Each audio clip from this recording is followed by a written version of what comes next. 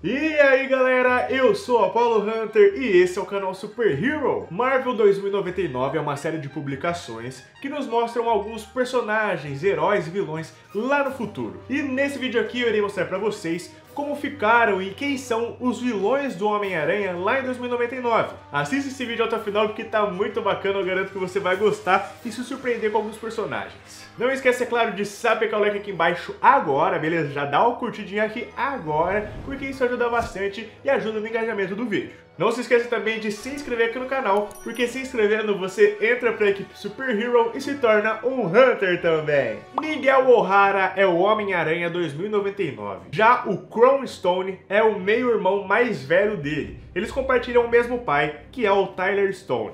O Crown sempre foi um cara metido a valentão, extremamente agressivo e adorava praticar bullying com outras pessoas. Para vocês terem ideia, a relação entre os dois irmãos era tão ruim que diversas vezes o Kron tentou matar o Miguel quando eles ainda eram crianças. Enfim, acontece que o Kron realmente era um tremendo psicopata. Tanto que certa vez ele foi até o zoológico e, junto com seus comparsas, mataram uma família somente porque eles eram felizes. Pois é, ele achava que não poderia existir famílias felizes, por isso ele foi lá e retalhou aquelas pessoas. Mas o que ele não sabia é que essa família pertencia ao capitão Jacob Gallows, onde ele também foi vítima. Mas o Kron não o matou de propósito, somente para que ele sofresse a dor de perder entes queridos. Deixar o Jacob Gallows vivo foi o pior erro que ele poderia ter cometido. Isso porque, por conta dessa chacina com a sua família, o Jacob se tornou o Justiceiro 2099.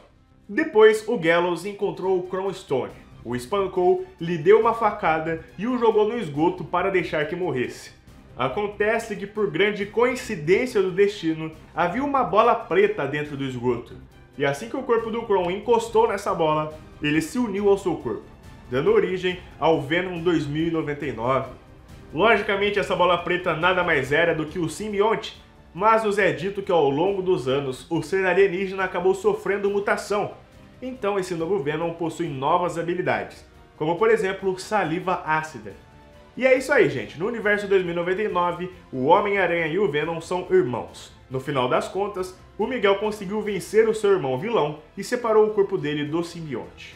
O Miguel O'Hara tinha uma namorada chamada Dana DeAngelo. Infelizmente, ela foi morta pelo Crown Stone enquanto ele ainda estava ligado com o simbionte Venom. Foi uma profunda tristeza para o Homem-Aranha 2099 ter perdido a sua amada. Porém, o que importa pra gente aqui agora é a irmã da Dana, que se chamava Jennifer DeAngelo. A Jennifer era uma sacerdotisa que trabalhava em Downtown. Embora ela fosse irmã da Dana, ela nunca conheceu o Miguel antes da morte dela. Isso porque elas haviam brigado e não estavam se falando. Acontece que a Jennifer é a Duende Verde desse universo. Na verdade, ela nunca foi chamada de Duende Verde, apenas de Duende 2099. Se formos parar para pensar, o Duende 2099 é mais um antagonista do Homem-Aranha do que um vilão em si. Isso porque a intenção da Jennifer era ser uma super-heroína para defender a sua cidade. Porém, o Homem-Aranha 2099 surgiu com a mesma intenção. Isso causou uma grande inveja na Duende, que decidiu que seu maior objetivo era derrotar o Aranha para ser a única heroína daquele local.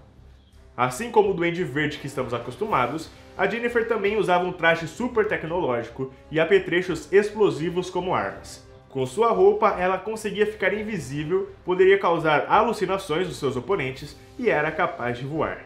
Sobre o próximo personagem aqui dessa nossa lista, a gente não sabe muita coisa. Os quadrinhos não nos revelaram muita coisa sobre ele. Porém, fiquem tranquilos que todas as informações possíveis estarão aqui nesse vídeo. O personagem em questão é o Abutre, um outro vilão que também existia no passado e que foi recriado para as histórias de 2099. Para vocês terem uma ideia, as HQs não nos contaram nem qual é o nome verdadeiro desse cara. O que ficamos sabendo é que teve algum momento da sua vida onde ele desenvolveu um gosto pela carne humana e mais tarde assumiu o apelido de Abutre. Pois é, o maluco é canibal, cara, e ele também mora em Downtown.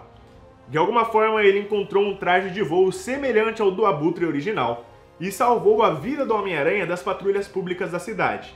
No entanto, quando Miguel O'Hara descobriu a natureza canibal desse homem, os dois lutaram e o Miguel venceu.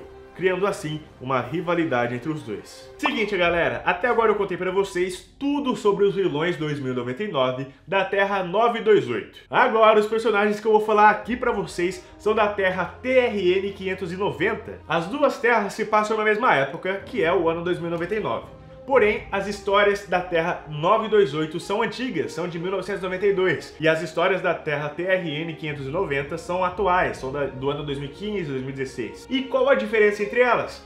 Praticamente nenhuma, tá? A origem do Venom, do Abutre e do Duende são as mesmas, a única coisa é que foram acrescentados mais personagens, como por exemplo o Electro, que eu vou falar aqui agora para vocês. O Electro era um androide que trabalhava em uma construção civil. Porém, seus chefes ficaram insatisfeitos com seu trabalho e o entregaram para experimentos de tortura.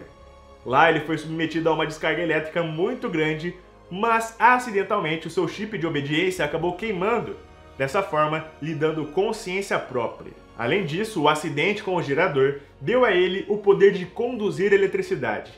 Então, o androide que agora possuía superpoderes se tornou um terrível vilão. Ele acabou se juntando ao Sexteto Sinistro que surgiu nessa terra, TRN 590, o que era uma equipe de vilões, assim como a original dos quadrinhos. Nessa versão do Sexteto Sinistro, os vilões que integravam eram Electro, Venom, Duende, Abutre, Doutor Octopus e Mulher-Areia.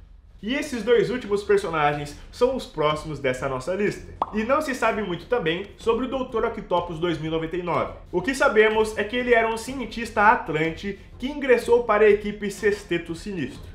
A sua primeira aparência foi em Homem-Aranha 2099, número 10, que foi lançada no ano de 2015. Ele aparece atacando o Miguel, dizendo que o Venom lhe falou muito sobre ele. Ou seja, o que nos deixa a entender é que ele foi recrutado pelo meio-irmão do Homem-Aranha, o Cron Stone, para fazer parte da equipe de vilões.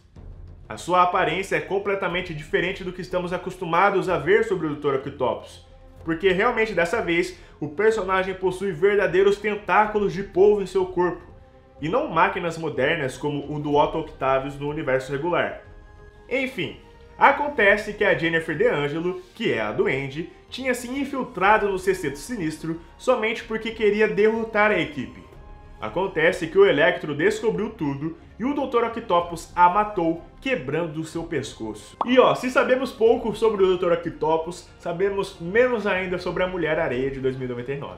Ela apareceu em somente duas edições e em poucas imagens ainda mas ela também é uma integrante do Sexteto Sinistro de 2099. Algo bacana é que ela também tem a roupa listrada, que lembra bastante a do Homem-Aranha original do universo regular. Um diferencial bem estranho é que ela tem os cabelos verdes, mas isso não é explicado o porquê. Para se locomover, ela utiliza uma nave para voar e realizar os seus ataques. E é isso, galera. espero que vocês tenham gostado do conteúdo desse vídeo. Fala aí pra mim aqui nos comentários quais desses vilões você mais gostou. Não esqueça de sapecar o like aqui embaixo e também de se inscrever no canal, porque isso ajuda bastante. Muito obrigado pelo enorme carinho de vocês, galera. Um forte abraço e até mais.